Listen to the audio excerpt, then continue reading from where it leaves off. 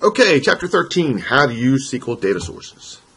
So this chapter talks about connecting to SQL data using some of the uh, uh, controls, well specifically the uh, SQL data source control. Um, we'll talk about how to use the query builder to get data using a select statement. Uh, we'll use the data list control to show that data up on the, a web page. Um, we'll use list controls like a drop-down list to also show the data. So a couple different controls, different ways to, to present the data. Uh, and then creating SQL data sources that can not only show the data, but also be used to update the data in the database. So some of the knowledge that they go over, um, how to do, uh, use select parameters to get a value from a control, uh, in particular when you use that to then filter data that's being displayed to the user. Um, how to use the eval and bind methods, and they'll they get generated for us automatically, but we'll still we'll, we'll point those out. Um, we'll talk about templates in a data list control. So this idea of formatting our data very whoops very specifically uh, using this template editing that's available to us. Um, we'll talk about the additional code that's generated for a data source that we can utilize to update the database. Um, We'll talk about, uh, explain why you might change the data source mode attribute of a data source from its default setting of data set to data reader. So using those two different objects and how that, you know, the pros and cons of that. Um, explain why you might want to store the data that's retrieved by a data source in server's cache memory. So for, for performance reasons. All right. So in the book we talk about the SQL data source control and how we can bind that to a drop-down list. And so I'm looking at chapter 13 and just kind of going through uh,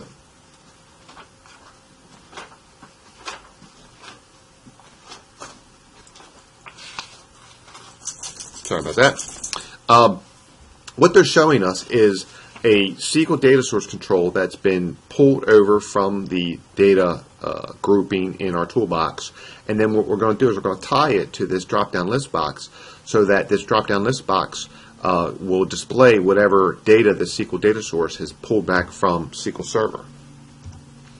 So the code that gets generated um, for our basic SQL data source is this. This is the this is what gets put in the HTML markup uh, in the in the um, code window, um, and you'll see things like this uh, angle bracket percent sign dollar sign. That's script. That's a script tag saying, "Hey, go generate, you know, go read. In this case, it's going to go read the connection string from our web.config.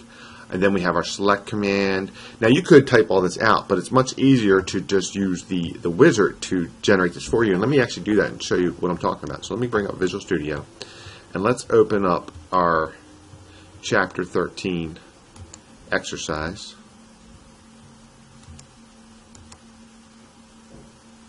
And bring up the main page. Now I did a video on uh, completing exercise 13.1, so uh, after this lecture, uh, feel free to take a look at that and actually walk you through step by step of doing exercise 13.1. So in this example, if I look at my design view, we've got our drop-down list box and a SQL data source. And what I did to configure this is I use the Smart menu to configure the data source, and that walks through and it selects connection string, and I can connect. Uh, I can, I can set up, you know, I click next and then go to my SQL statement and set up a where clause and all that. And I, this is all again. I go into details when I do the, ex, the demo exercise 13.1, so I won't reiterate that here. But um, basically, you know, it has a wizard that generates the code for me, so that I don't have to type it in myself. I can, but I don't have to.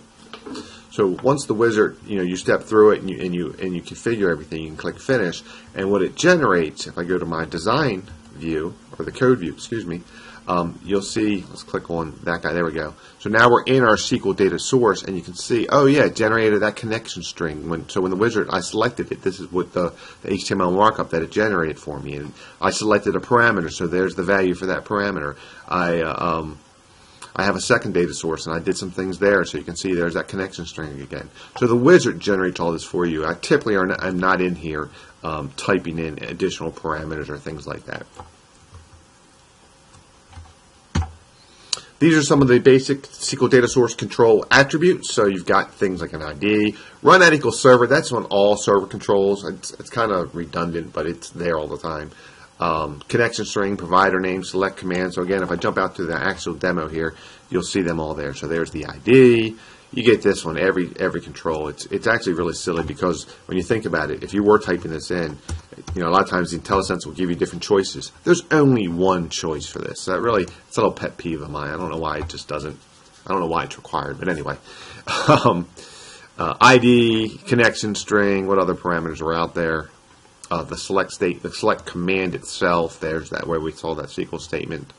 Um, one another thing to watch out for. Now the wizard's pretty good about you know getting this correct, but if you are ever are ever are in here, you know manually, you know maybe I wanted to select invoice instead of invoice number or something. Maybe if it was invoice NO or something.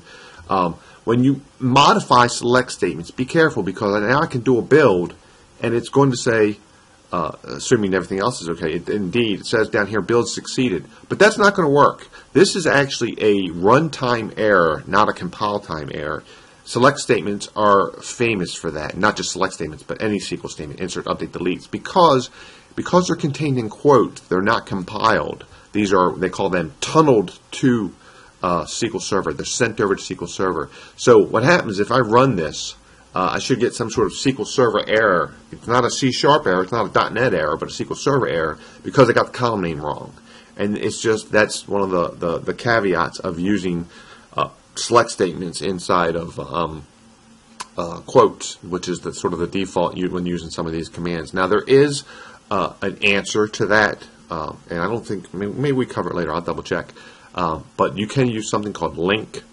Um, which is Language Integrated Query. It's an object relational mapping tool that we can use to um, generate the SQL for us and avoid some of this stuff. So there you can see I've got that, you know, oh, it's a bad. So even though it compiled okay, there is a problem with my code. So typically, what do I do in this situation? Well, this is this is actually pretty straightforward. Hey, it's a bad column name, so I can fix that.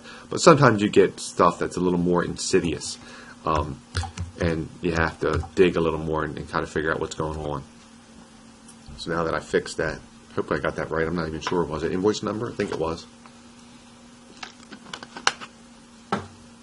So now the error, if I got that right, should have gone away. And if I wasn't sure, obviously I would just go to the, there we go. I would go to the SQL Server database and check what the actual uh, column name is. Um, all right. So the next few slides just talk about walking through that widget. Tom won't bore you with that adding connections, choosing um, different data sources, choosing the, the, the, the, connection string, storing. So this is the actual what gets stored in oops in web.config. Where'd go? There we go. And then that we saw this down below already. That's the reference to that entry in web.config. And if I go back over to Visual Studio and I go to my web.config, double click that, indeed there's that connection string stored there with the actual value of the connection string.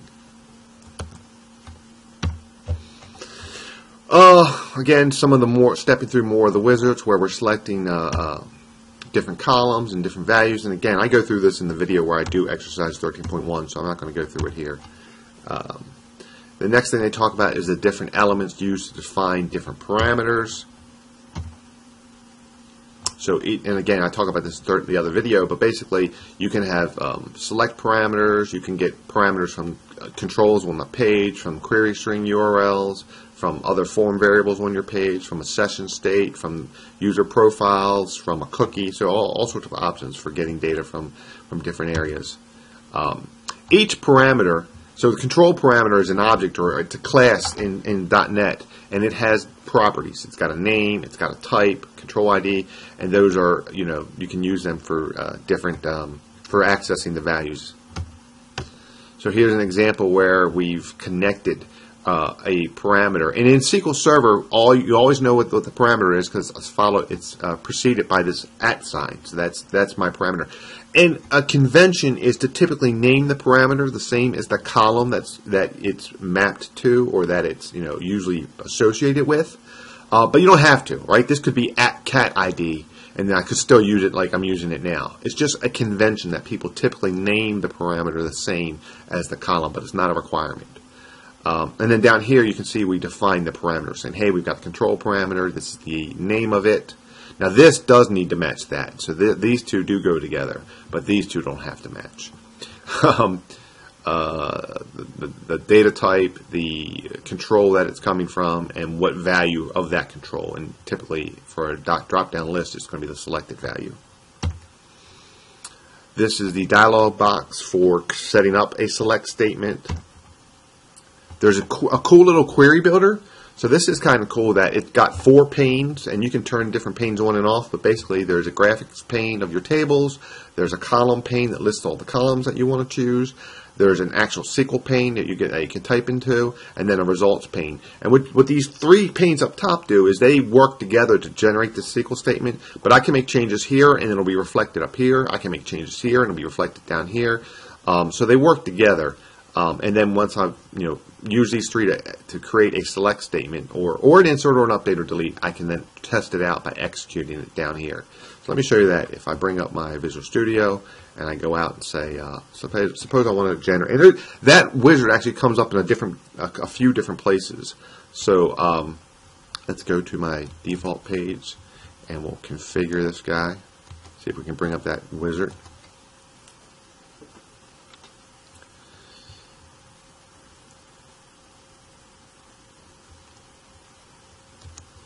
Set this to custom so I can bring up the wizard. So here's the query builder.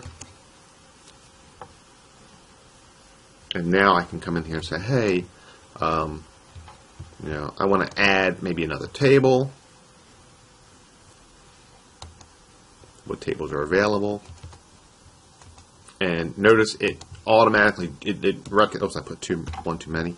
It automatically recognizes that the, the, those, those are related from the database, underlying database schema. So it, it, it joins them for me. So that's kind of cool. I could have typed it, this down here. You know, if I make changes down here, notice when I click up here, it reflects it. If I make changes here, uh, So we'll say subtotal is uh, equal to, say, I don't know, 2. I'm just being silly. But notice the where clause, you know. So these three work together, and then when I'm done, I can execute and test out my results. So silly, what I do? So there's no no subtotals equal to 2, so that's kind of silly. Let's make this something more realistic so we can execute some code or get some results back.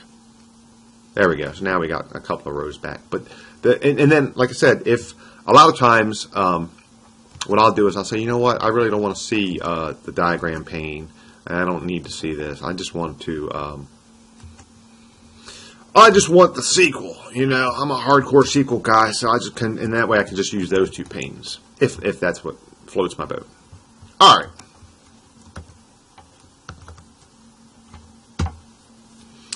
There's a wizard for defining the parameters that they walk you through, and we mentioned that there's uh, there's different property or different sources for the parameters. So it can be control, query string, form, session, profile, cookie, or route.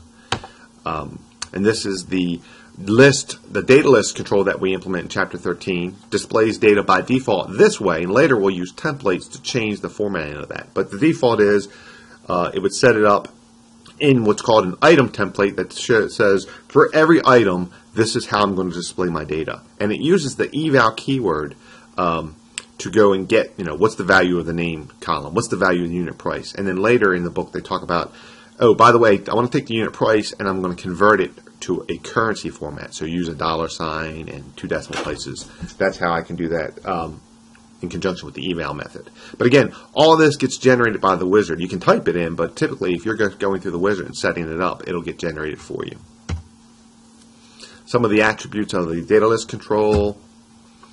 Now, in template editing mode, I, what I'm doing is I'm saying, hey, um, I don't want the default uh, representation of an item. I want to go in and edit that item template and change it. So I'm going to give it some different information.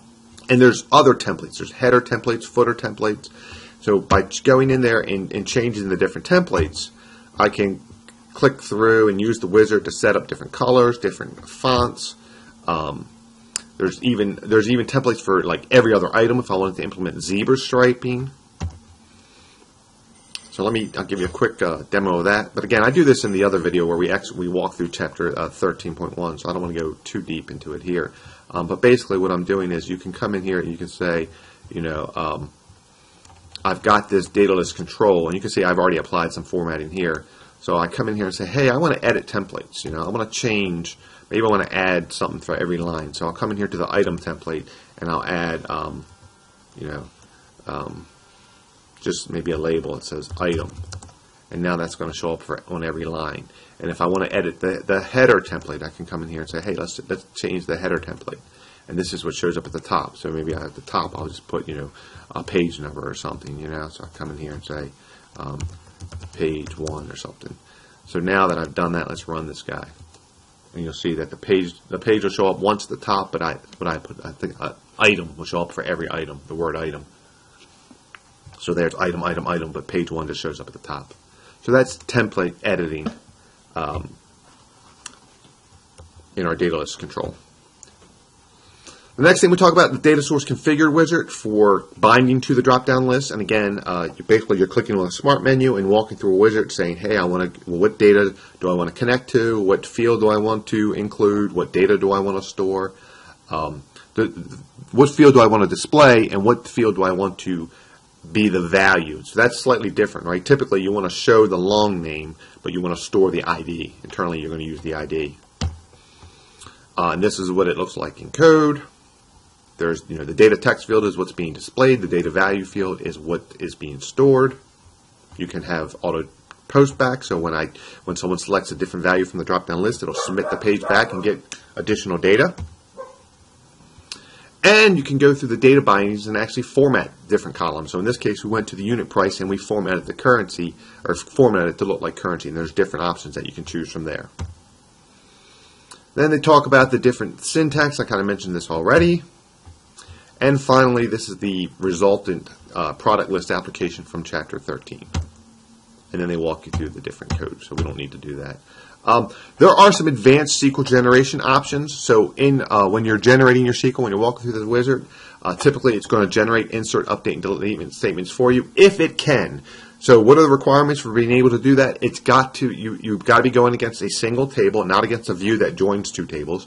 You've got to be going against a table that has a primary key defined um, those are probably the two main things. So if those are true, then you'll be able to check this off, and it will generate insert the the Visual Studio will be able to generate insert update delete statements for you.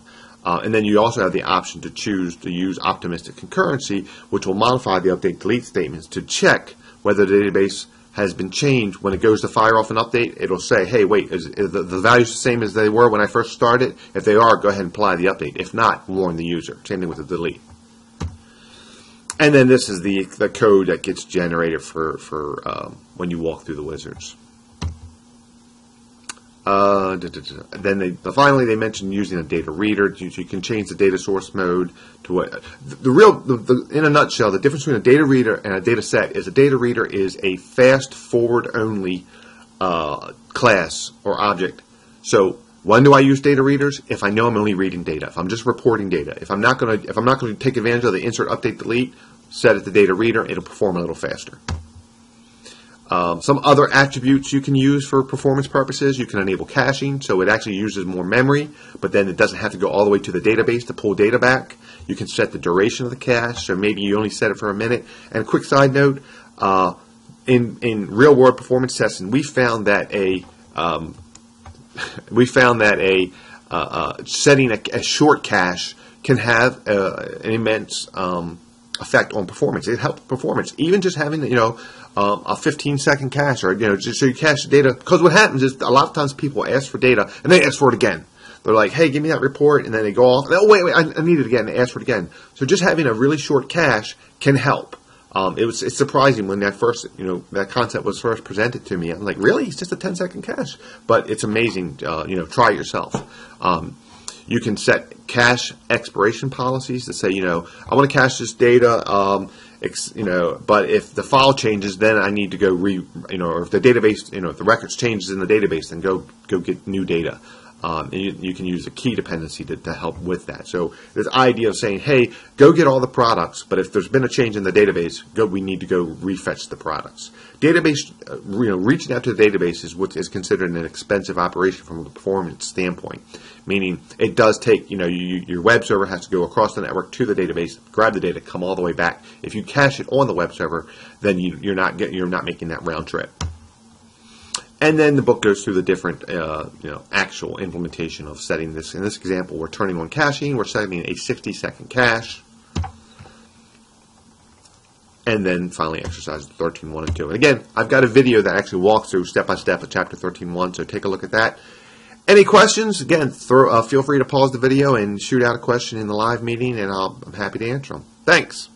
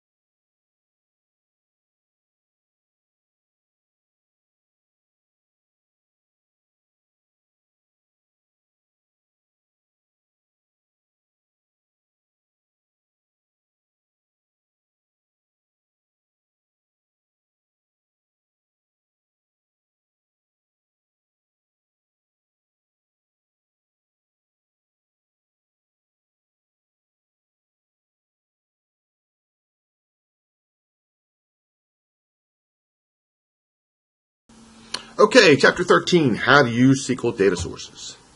So this chapter talks about connecting to SQL data using some of the uh, uh, controls, well specifically the uh, SQL data source control. Um, we'll talk about how to use the query builder to get data using a select statement. Uh, we'll use the data list control to show that data up on the, a web page. Um, we'll use list controls like a drop-down list to also show the data. So a couple different controls, different ways to, to present the data. Uh, and then creating SQL data sources that can not only show the data, but also be used to update the data in the database. So some of the knowledge that they go over, um, how to do, uh, use select parameters to get a value from a control, uh, in particular when you use that to then filter data that's being displayed to the user.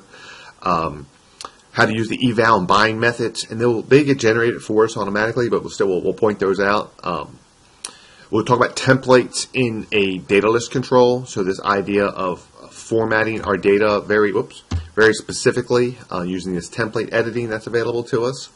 Um, we'll talk about the additional code that's generated for a data source that we can utilize to update the database. Um, We'll talk about, uh, explain why you might change the data source mode attribute of a data source from its default setting of data set to data reader. So using those two different objects and how that, you know, the pros and cons of that. Um, explain why you might want to store the data that's retrieved by a data source in server's cache memory. So for, for performance reasons. All right. So in the book we talk about the SQL data source control and how we can bind that to a drop-down list. And so I'm looking at chapter 13 and just kind of going through uh,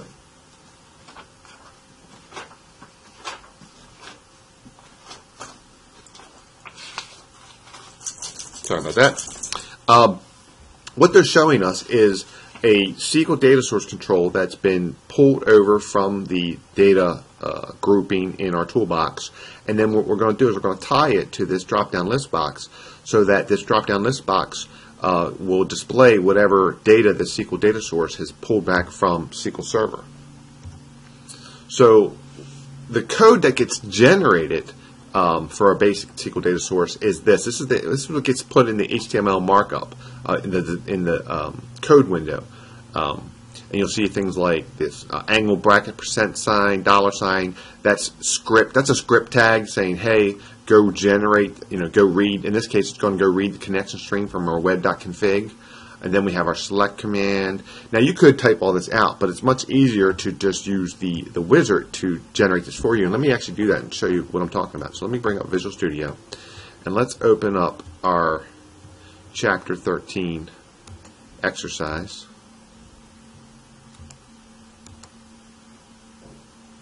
And bring up the main page.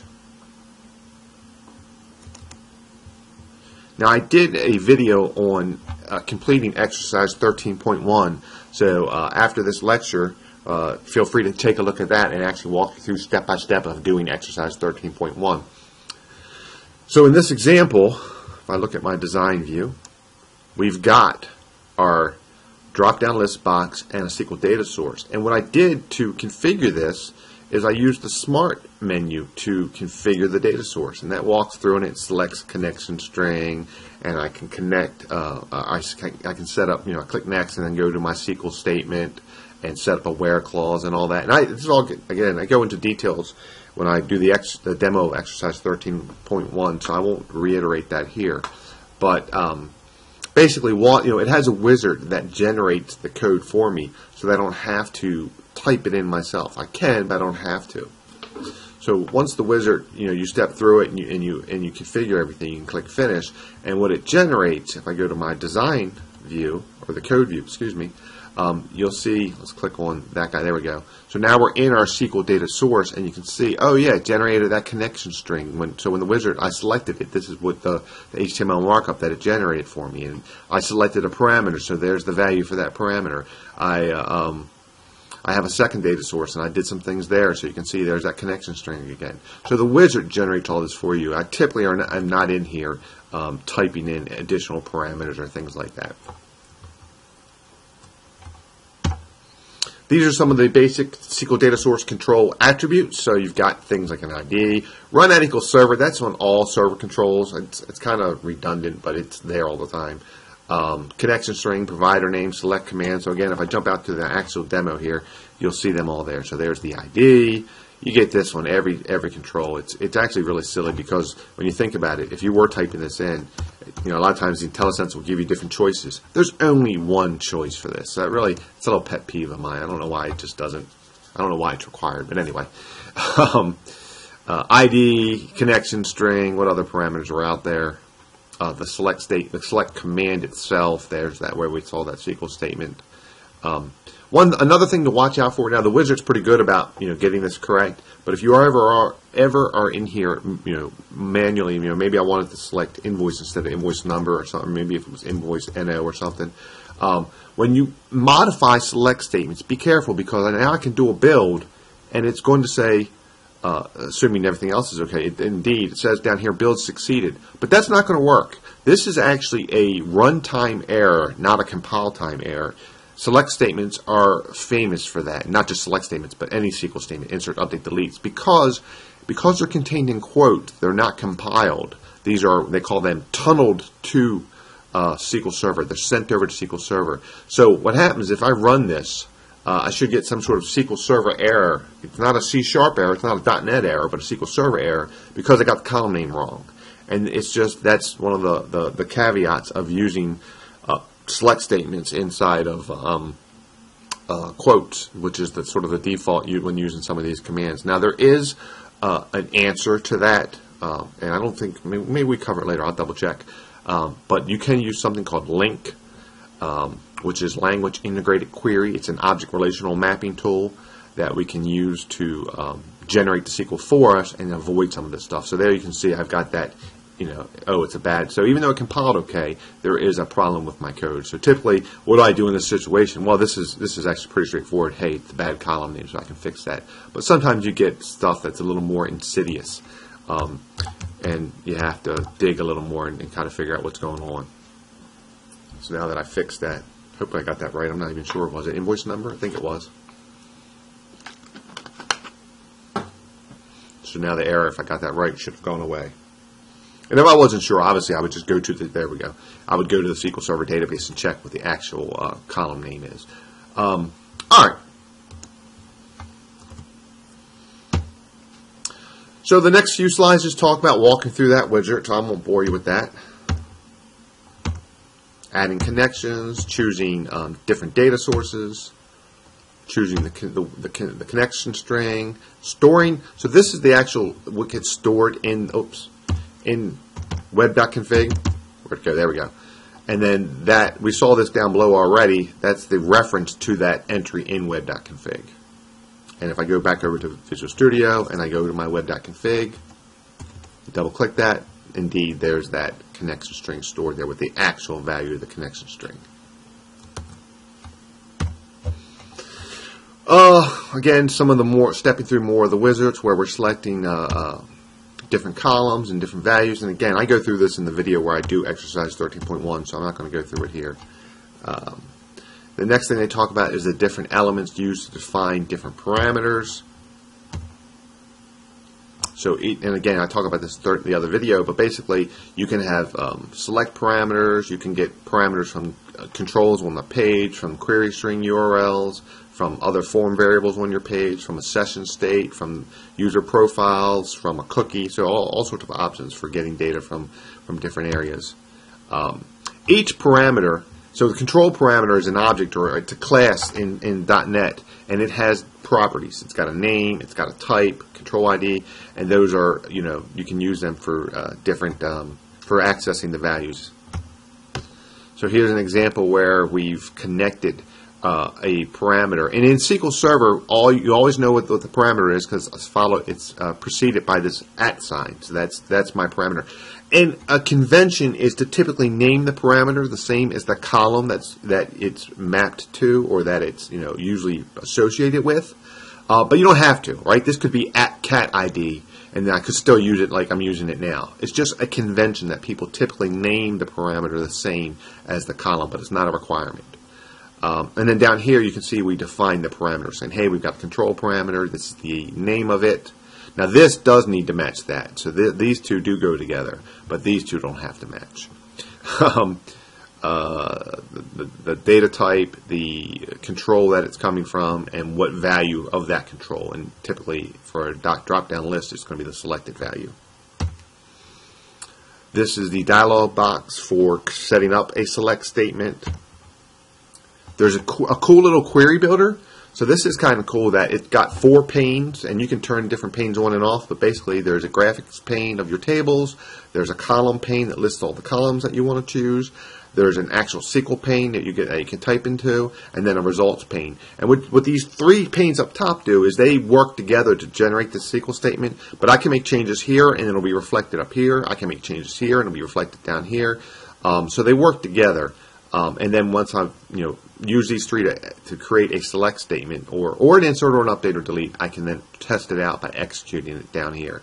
So let me show you that. If I bring up my Visual Studio and I go out and say, uh, suppose, suppose I want to generate, and that wizard actually comes up in a different, a, a few different places. So um, let's go to my default page and we'll configure this guy. See if we can bring up that wizard.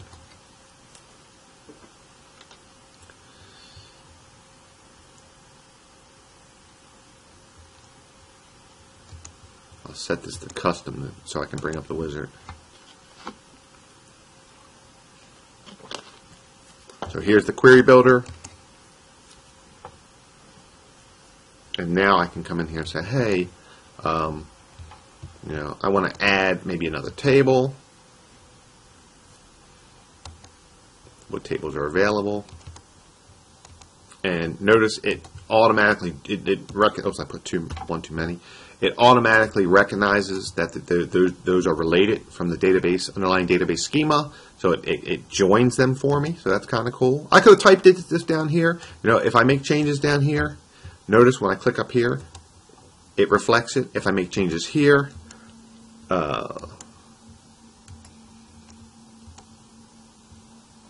so we'll say subtotal is uh, equal to say I don't know two. I'm just being silly.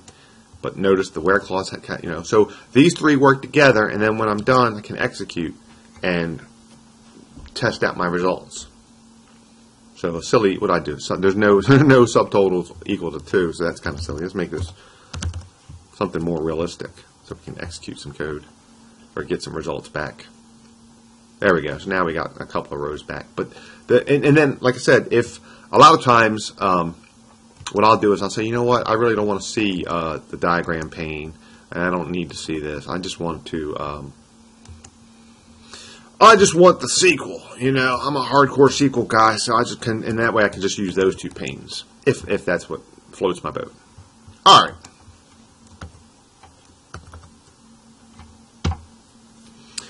There's a wizard for defining the parameters that they walk you through, and we mentioned that there's uh, there's different property or different sources for the parameters. So it can be control, query string, form, session, profile, cookie, or route. Um, and this is the list, the data list control that we implement in Chapter 13 displays data by default this way, and later we'll use templates to change the formatting of that. But the default is uh, it would set it up in what's called an item template that says for every item, this is how I'm going to display my data. And it uses the eval keyword um, to go and get, you know, what's the value of the name column? What's the value of the unit price? And then later in the book, they talk about, oh, by the way, I want to take the unit price and I'm going to convert it to a currency format. So use a dollar sign and two decimal places. That's how I can do that um, in conjunction with the eval method. But again, all of this gets generated by the wizard. You can type it in, but typically if you're going through the wizard and setting it up, it'll get generated for you. Some of the attributes of the data list control. Now, in template editing mode, I, what I'm doing is I'm saying, hey, um, I don't want the default uh, representation of an item. I want to go in and edit that item template and change it. So I'm going to give it some different information. And there's other templates. There's header templates, footer templates. So by going in there and, and changing the different templates, I can click through and use the wizard to set up different colors, different fonts. Um, there's even there's even templates for like every other item if I wanted to implement zebra striping. So let me, I'll give you a quick uh, demo of that. But again, I do this in the other video where we ex we walk through chapter uh, 13.1, so I don't want to go too deep into it here. Um, but basically what I'm doing is you can come in here and you can say, you know, um, I've got this data list control, and you can see I've already applied some formatting here. So I come in here and say, hey, I want to edit templates. You know, I want to change. Maybe I want to add something for every line. So I'll come in here to the item template, and I'll add, um, you know, um, just maybe a label that says item. And now that's going to show up for, on every line. And if I want to edit the, the header template, I can come in here and say, hey, let's, let's change the header template. And this is what shows up at the top. So maybe at the top, I'll just put, you know, a page number or something, you know. So I come in here and say um, page one or something. So now that I've done that, let's run this guy. And you'll see that the page the page will show up once at the top, but I what I put I think uh, item will show up for every item, the word item. So there's item, item, item, but page one just shows up at the top. So that's template editing um, in our data list control. The next thing we talk about the data source configured wizard for binding to the drop-down list. And again, uh, you're basically you're clicking on a smart menu and walking through a wizard saying, hey, I want to, well, what data do I want to connect to? What field do I want to include? What data do I want to store? Um, the, what field do I want to display? And what field do I want to be the value? So that's slightly different, right? Typically, you want to show the long name, but you want to store the ID. Internally, you're going to use the ID. Uh, and this is what it looks like in code. There's, you know, the data text field is what's being displayed. The data value field is what is being stored. You can have auto post back. So when I, when someone selects a different value from the drop-down list, it'll submit the page back and get additional data. And you can go through the data bindings and actually format different columns. So in this case, we went to the unit price and we formatted the currency, or formatted it to look like currency. And there's different options that you can choose from there. Then they talk about the different syntax. I kind of mentioned this already. And finally, this is the resultant uh, product list application from Chapter 13. And then they walk you through the different codes, so we don't need to do that. Um, there are some advanced SQL generation options. So in uh, when you're generating your SQL, when you're walking through the wizard, uh, typically it's going to generate insert, update, and delete statements for you if it can. So what are the requirements for being able to do that? It's got to you you've got to be going against a single table, not against a view that joins two tables. You've got to be going against a table that has a primary key defined um, those are probably the two main things. So if those are true, then you'll be able to check this off, and it will generate insert the the Visual Studio will be able to generate insert update delete statements for you.